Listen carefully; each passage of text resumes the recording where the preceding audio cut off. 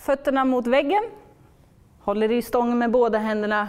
Gunga höften sida, sida.